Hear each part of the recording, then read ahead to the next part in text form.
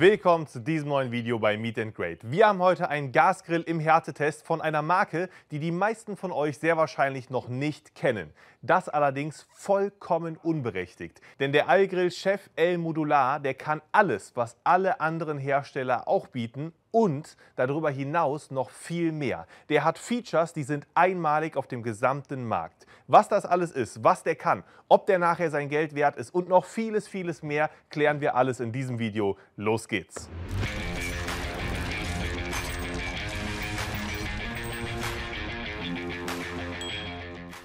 Wie alle meine Videos ist auch dieses Video hier in mehrere Kapitel unterteilt und ihr könnt unten in der Timeleiste einfach immer schauen, welches Kapitel euch am meisten interessiert und immer an die Stelle springen, wo ihr gerade hin wollt. Starten wir also mit all den Varianten, die dieser Grill hier bieten kann, denn die Grillvariante hier heißt Chef L Modular und der Grill macht seinem Namen alle Ehre. Wir haben 144 unterschiedliche Varianten, wie ihr diesen Grill hier nutzen könnt. Ja, ihr habt richtig gehört und jetzt gehen wir das mal im Schnelldurchlauf durch. Den Allgrill Chef gibt es als Zweibrenner, Dreibrenner, Vierbrenner oder Sechsbrenner. Alle Grills aus Edelstahl. Das Coole ist, es ist ein vollständiger Edelstahlgrill. Das bedeutet, jedes einzelne Bauteil ist aus Edelstahl, bis auf eins, da kommen wir nachher drauf zu sprechen. Und trotzdem gibt es den Grill in einer schwarzen Variante, wie ihr seht. Und das ist Edelstahl, da gehen wir nachher nochmal näher drauf ein. Das ist nicht beschichtet in irgendeiner Form.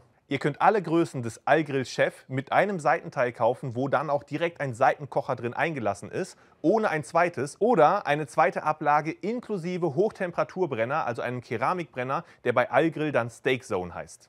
Schauen wir jetzt in den Grill rein, dann sehen wir im Grill direkt einen Heckbrenner, der standardmäßig im Preis mit drin ist. Dann haben wir entweder Edelstahlroste oder Gussroste oder Edelstahlroste auf der einen Seite, auf der anderen Seite eine Edelstahlplanscher oder Gussroste auf der einen Seite und auf der anderen Seite eine Gusseisenplatte oder noch weiter kombiniert, so wie ihr das eben haben wollt. Jetzt kommt noch ein echtes Highlight dazu. Und zwar könnt ihr diesen Grill mit einem Umluftsystem kaufen. Air-System nennt sich das Ganze und das hat richtig viele Vorteile. Dazu kommen wir gleich noch im Laufe des Videos. Falls ihr dachtet, mehr geht doch nicht, Oh doch, da geht noch viel mehr. Ihr habt die Möglichkeit für einen Kaltrauchgenerator, für einen Wok-Einsatz in eurem Seitenkocher, für eine Gusseisenplatte auf eurem Seitenkocher oder auf eurer Steakzone, für eine Pizzabox auf eurer Steakzone oder dem Seitenkocher, für einen Holzkohleeinsatz innerhalb des Grills. Ihr könnt ihn also als Gasgrill und Holzkohlegrill verwenden. Und das war immer noch nicht alles. Ihr seht jetzt mal ein paar schöne Videoaufnahmen, was hier alles mit dem Grill möglich ist.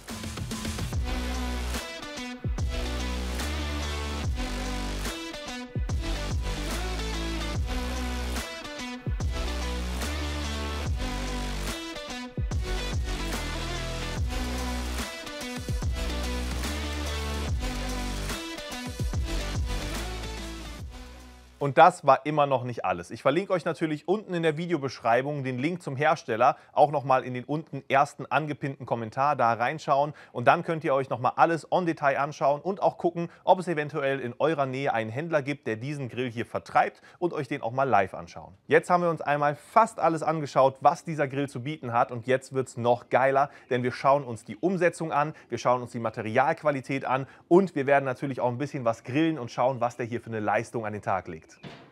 Kapitel 2 Qualität. Hier fangen wir ganz nüchtern an und starten einmal bei den Rollen unten und arbeiten uns nach oben hoch. Und bei den Rollen haben wir hier Standard Gasgrillrollen. Ihr wisst, Rollen sind bei Gasgrills immer ein Kritikpunkt, aber zu den Kritikpunkten kommen wir im Laufe des Videos nochmal. Den Unterbau könnt ihr kaufen, entweder mit zwei Türen oder auf der einen Seite einem Schubladensystem.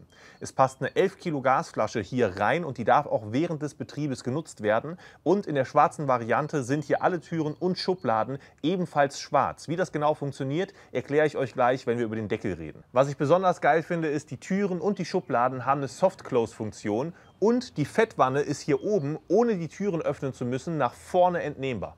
Eine Etage höher fangen wir mit den Seitenteilen an und die sind beidseitig abklappbar. Das Besondere ist aber, die sind dann nachher nicht offen wie bei anderen Gasgrills, sondern ihr habt dafür nochmal eine extra Abdeckung direkt mit dabei. Wie eben schon erwähnt, ist das ein vollständiger Edelstahlgrill. Das bedeutet auch, die Grillwanne ist nicht pulverbeschichtet oder lackiert, sondern wir haben hier eine vollständige Edelstahl-Grillwanne. Selbstverständlich auch Edelstahlbrenner. Was die für eine Leistung haben und wie die Hitzeverteilung des Grills ist, das klären wir in einem der nächsten Kapitel. Und darüber haben wir Flammschutzbleche, ebenfalls aus Edelstahl. Und das nicht einfach irgendwie gemacht, sondern doppelwandig. Edelstahl muss sein, meines Erachtens. Doppelwandig soll nochmal eine viel bessere Hitzeverteilung bringen. Und das werden wir uns gleich dann nochmal im Härtetest anschauen, ob das wirklich so ist. Als Roste habt ihr wie gesagt die freie Wahl. Gusseisen, Edelstahl, was auch immer. Edelstahlrost mit 6 mm, Gusseisen schön massiv, beidseitig verwendbar. Also auch hier bleiben keine Wünsche offen. Selbstredend ist natürlich auch das Ablagerost hier massiv genug mit 4 bis 5 mm. Das Besondere ist jetzt aber auch noch, ihr könnt den Gasgrill ja nicht nur als Gasgrill verwenden, sondern auch als Holzkohlegrill mit einem Holzkohleeinsatz. Und dann habt ihr nochmal eine extra Abgrenzung dazwischen. Und diese Abgrenzung könnt ihr benutzen auch ohne den Holzkohleeinsatz und könnt damit noch besser indirekte Zonen auf diesem Grill hier einrichten. Jetzt fehlt nur noch die Haube und bevor wir darauf eingehen, warum das schwarzer Edelstahl ist und warum das besonders geil ist, klären wir einmal die Qualität der Haube, denn die ist nicht nur hier doppelwandig, sondern auch an den Seitenteilen. Und das ist etwas, das findet man wirklich in der Regel nur in der Premium-Klasse, hat den Vorteil, dass wir hier einfach noch mal mehr Hitze speichern können und eine noch konstantere Temperatur haben. Thema schwarzer Edelstahl. Ich bin ein großer Fan von Grills, die schwarze Elemente haben. Denn rein Silber bei einem Grill ist mir so ein bisschen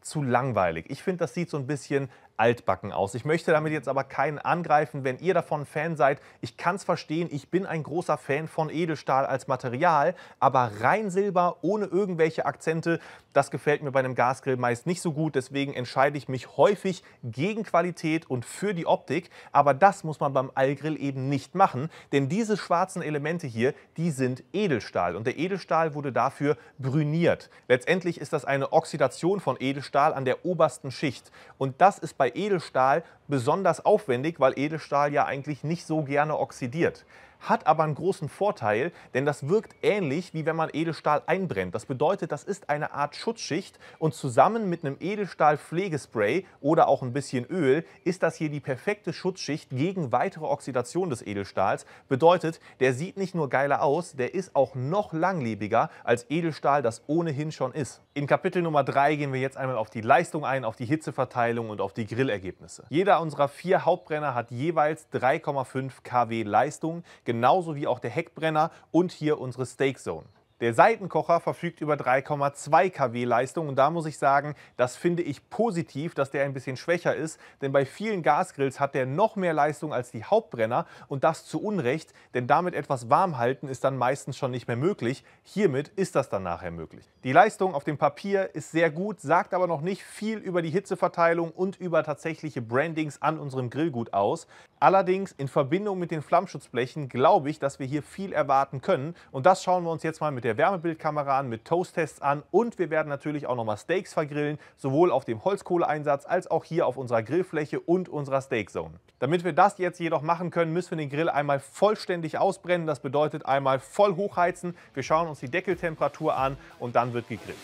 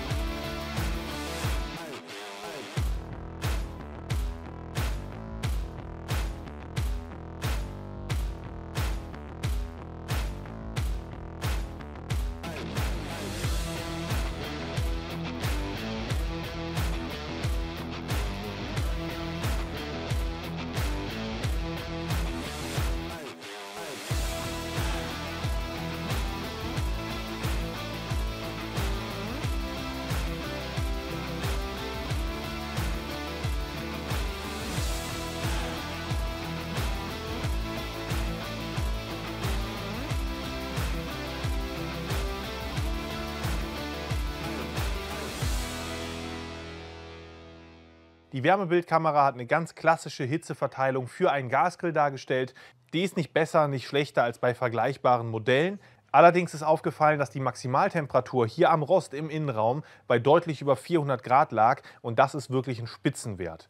Der Toast-Test hat das Ganze nochmal bestätigt, das heißt, wir haben über den Brennern so ein paar heißere Zonen, dazwischen ein paar nicht ganz so heiße Zonen, aber dieser Temperaturunterschied, der hält sich in Grenzen, denn das Grillen damit hat richtig Spaß gemacht. Hähnchen, alles über die gesamte Grillfläche verteilt, ist sehr gleichmäßig gar geworden, hat gleichmäßige Röstaromen bekommen. Ein Steak, was ich hier im Innenraum gegrillt habe, an verschiedenen verschiedenen Zonen, hat ein richtig schönes Branding bekommen. Also da kann ich überhaupt nichts Negatives drüber sagen. Und das Steak auf der Steak Zone sowieso ideal geworden. Also eine richtig schöne Kruste auf der Platte und auf der Griddle Plate nochmal ein richtig schönes Branding bekommen.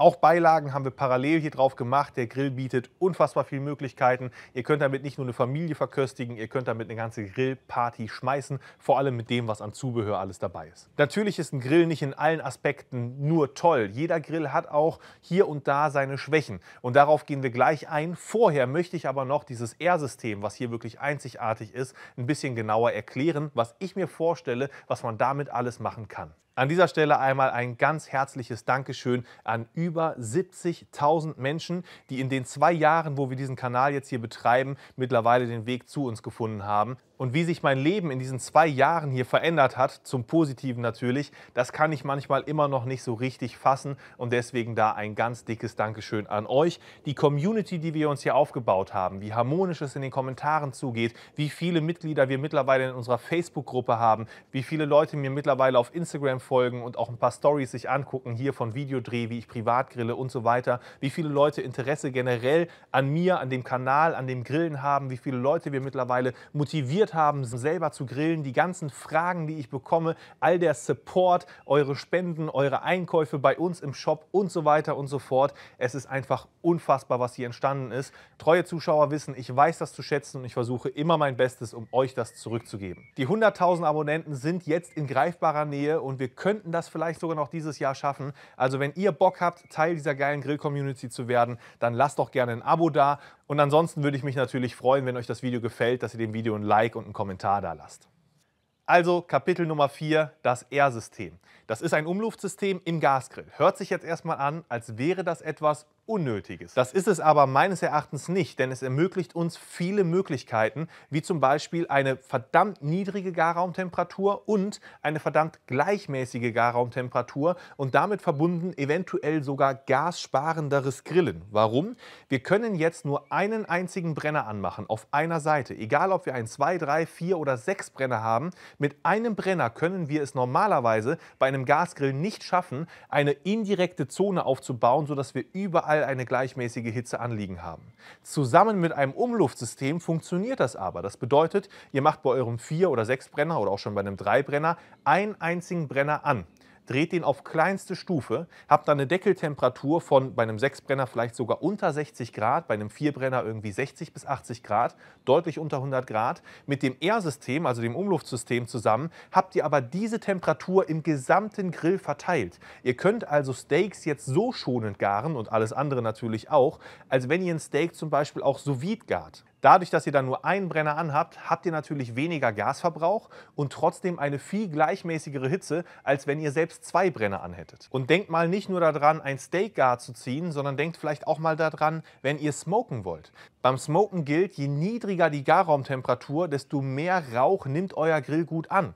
Und manchmal hat man bei Gasgrills das Problem, vor allem wenn es dann nicht ein Sechsbrenner ist, sondern Vierbrenner oder Dreibrenner, dass ich mit zwei Brennern deutlich über 100, eher sogar über 120 Grad liege und dann macht Smoken nicht mehr so viel Sinn. Dafür brauche ich also eigentlich eine niedrigere Temperatur und mit so einem Umluftsystem wird das erst so richtig möglich. Und dafür gäbe es jetzt noch viel mehr Beispiele. Ihr könnt extrem low and slow grillen und so weiter und so fort. Wenn ihr das alles sehen wollt, wenn euch das interessiert, dann ein Abo dalassen. Das werden wir demnächst hier auf dem Kanal mit dem Grill mal austesten. Kommen wir jetzt zu Kapitel Nummer 5 und zwar all die Kritikpunkte, die ich so gefunden habe. Und da muss ich sagen, ich kritisiere jetzt hier zu 99 Prozent auf extremst hohem Niveau. Ich könnte diese Kritikpunkte auch einfach weglassen, weil manchmal muss man sich schon überlegen, ist es nicht unfair, einem Hersteller gegenüber ein paar Punkte zu erwähnen, die man vielleicht noch besser hätte haben wollen, obwohl sie eigentlich schon ganz gut umgesetzt sind, nur weil man sonst nichts anderes findet. Ich versuche das hier aber wie immer konstruktiv zu verpacken,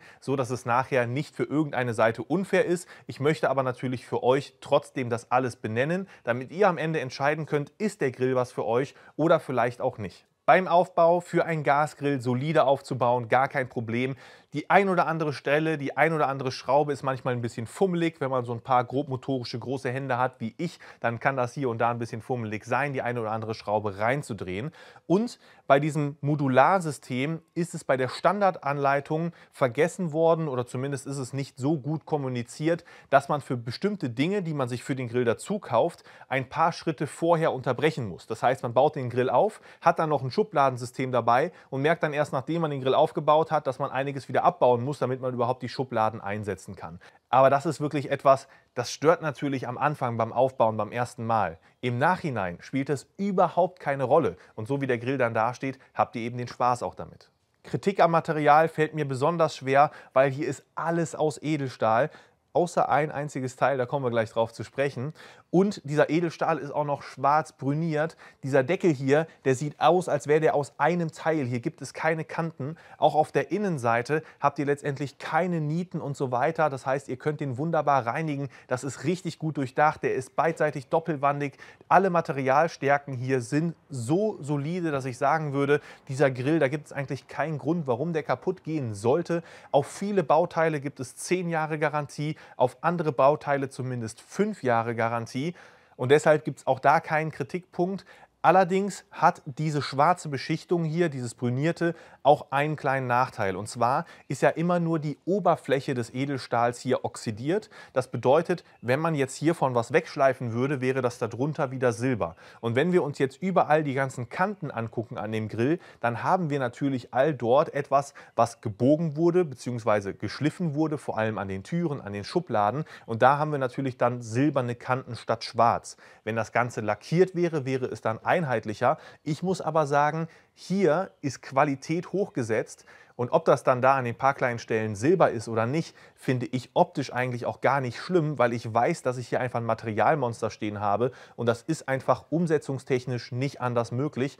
Aber ihr solltet natürlich wissen, dass das bei dem Grill so ist. Das eine Bauteil, was nicht aus Edelstahl ist, was ich angesprochen habe, das ist aus lackiertem Stahl und das ist am Unterboden unten drunter eine Querstrebe, die ist lackiert, die ist nicht aus Edelstahl muss ich jetzt sagen, an sich ist es komplett egal. Also es ist wirklich vollständig egal. Auf der anderen Seite finde ich es ein bisschen inkonsequent, aber ich muss auch sagen, es wird keinen stören. Der Grill wird dadurch auch nicht nur einen Monat weniger lang leben. Also da braucht man sich keine Gedanken drum machen. Trotzdem, warum? Warum dieses eine einzige Teil nicht aus Edelstahl? Kommen wir jetzt zu den Drehreglern. Die sind wertig, die sind griffig, die sind beleuchtet. Was soll man meckern? Ich finde es ganz schön bei Drehreglern, wenn ich die anmache und zünde, dass ich dann hier oben auf Maximum einen Anschlagpunkt habe. Das habe ich hier bei dem Grill nicht. Das wäre jetzt mein Kritikpunkt. Das haben aber viele Gasgrills nicht und am Ende stört es auch nicht wirklich. Aber ich habe immer gern die Sicherheit, der ist jetzt auf Max und will nicht immer gucken, ist da jetzt ein bisschen zu hoch, ein bisschen zu niedrig oder was auch immer. Im Endeffekt ist das nachher egal, aber für so einen kleinen inneren Monk ist das immer ganz schön. Kritik an den Rosten, obwohl man alle Möglichkeiten hat, ja, man hat wirklich alle Möglichkeiten bis auf eine. Das Ablagerost ist top super stabil, groß genug und so weiter, genauso groß wie bei anderen Gasgrills. Aber hier hätte ich einen Verbesserungsvorschlag. Das ist jetzt keine Kritik, das ist nichts Negatives. Ich fände es aber noch geiler, wenn das entweder ausziehbar wäre oder eventuell es noch ein zweites, noch tieferes Ablagerost optional dazugeben würde. Dann hätte ich noch mehr Möglichkeiten. Ein grundsätzlich tieferes Ablagerost hat immer das Problem, dass es mich beim Grillen behindert. Deswegen ist das eine gute Größe. Aber manchmal hat man da einfach zu wenig Platz drauf. Und wenn ich schon so ein Modularsystem habe, dann würde ich mir wünschen, da noch ein ausziehbares Ablagerost für zu entwickeln. Bei den Rosten haben wir Gusseisenplatten, Planchas, Gussroste, Edelstahlroste und die Edelstahlroste sind mit 6 mm auch wirklich solide. Allerdings muss ich sagen, mir gefallen bei Edelstahlrosten 8 mm Stäbe deutlich besser, weil die häufig nochmal ein Ticken besseres Branding abgeben. Aber das wirklich Kritik auf hohem Niveau. Haben wir hier den Holzkohleeinsatz drin und da ein Edelstahlrost drüber, dann ist das mit der Dicke egal. Bei einem Gasgrill finde ich 8 mm allerdings besser. Im Unterbau des Grills haben wir die Option für ein Schubladensystem und das ist extrem geil. Warum? Der Platz neben unserer Gasflasche ist somit jetzt kein verlorener Platz mehr, sondern wir haben extremst viel Stauraum in dem Grill und wir haben hier wirklich viel Platz pro Schublade, die sind richtig geräumig und die haben auch noch ein Soft-Close-System. Aber genau dieses Soft-Close-System ist auch so ein kleiner Kritikpunkt Ich bin froh, dass es dabei ist. Aber ich muss sagen, ich könnte mir das noch ein bisschen smoother vorstellen, weil ihr seht jetzt, wo ich versuche, die zuzumachen, ich muss wirklich weit reindrücken, zack, bis der dann auch wirklich schließt. Aber das auch hier wieder Kritik auf höchstem Niveau. Ich wollte es euch nur nicht vorenthalten, nicht, dass ihr den Grill kauft und dann sagt, äh, die Schubladen, die habe ich mir leichter vorgestellt. So minimal schwergängig sind die, aber trotzdem sehr praktikabel. Kommen wir jetzt zum Fazit und wer sich diesen Grill kaufen sollte. Wir haben hier einen richtig geilen Grill von einem Grillhersteller, der deutlich bekannter sein sollte. Die sind seit zehn Jahren, erst zehn Jahren im Markt und dafür noch nicht so bekannt, wie ich finde, dass sie es verdient hätten. Die können mit den großen Marken, mit den großen Herstellern alle Male mithalten. Wir haben hier Features in einem Gasgrill, die sind so vollumfänglich, dass wir sogar Features haben, die wir bei anderen Marken absolut gar nicht haben. Wir haben geile Materialien, einen Edelstahlgrill. Wenn ihr Edelstahl mögt und trotzdem eine schwarze Optik mögt, ist es meines Wissens der einzige Grill, den ihr euch aktuell kaufen könnt mit vollständig Edelstahl und schwarzer Haube. Hier und da, ihr habt es jetzt bei den Schubladen gesehen, kann man sagen, von der Verarbeitung würde ich das so ein bisschen gleichsetzen wie im Automarkt, zum Beispiel mit Tesla. Da sind die Spaltmaße nicht so on point perfekt und trotzdem ist das ein geiles Auto. Für alle Autofanatisten, die jetzt sagen, Tesla ist nicht meins, grenzt das davon ab. Die Marke ist natürlich nicht Tesla, aber ihr wisst, glaube ich, was ich damit meine. Wer sollte den Grill also kaufen? Jeder, der sagt, er möchte keine Kompromisse haben. Jeder, der sagt, ich möchte meinen Grill über die Jahre upgraden. Ich möchte auch nach zehn Jahren noch Ersatzteile kaufen können. Ich möchte eine relativ lange Garantie haben. Ich will einen Edelstahlgrill, aber trotzdem nicht auf eine schwarze Optik verzichten. Und ganz wichtig, ihr habt natürlich auch dann das Geld dafür. Ihr könnt am Anfang sagen, ihr wollt nicht ganz so viel ausgeben und kauft den Grill in einer Basisvariante und könnt dann zu Geburtstag, Weihnachten und weiteren Anlässen entweder euch selbst etwas dazu kaufen oder euch dazu beschenken lassen. Das ist an sich cool. Trotzdem muss man sagen, auch die Basisvariante ist jetzt hier kein Einsteigergrill, sondern das ist wirklich ein Mittelklasse-Grill, eher der gehobenen Klasse, allerdings auch berechtigterweise der gehobenen Klasse, denn der ist von den Materialien, von den Features wirklich gehoben, wenn nicht sogar bei Features Spitzenklasse. Im Großen und Ganzen konnte ich hier nur auf allerhöchstem Niveau kritisieren und da muss ich sagen, jeder Grill hat seine Kritikpunkte und mit diesem Grill macht ihr absolut nichts falsch. Wenn ihr sagt, der Grill ist geil, den wollt ihr haben, ich habe euch den in der Videobeschreibung verlinkt und wenn euch das Video gefallen hat, gebt ihm doch gerne einen Daumen nach oben, schreibt mir einen netten Kommentar und ich hoffe, wir sehen uns im nächsten Video wieder. Bis dahin, ciao.